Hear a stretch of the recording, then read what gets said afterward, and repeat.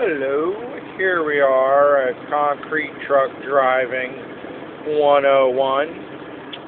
I will be your host. My name is Gene. Nice to meet you.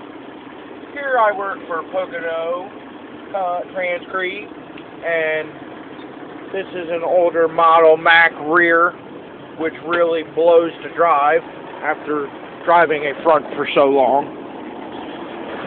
At least I have good tires. As you can see on this rainy day, we will be delivering concrete to a bridge that goes over Route 80. Over here, a few gentlemen are testing some concrete.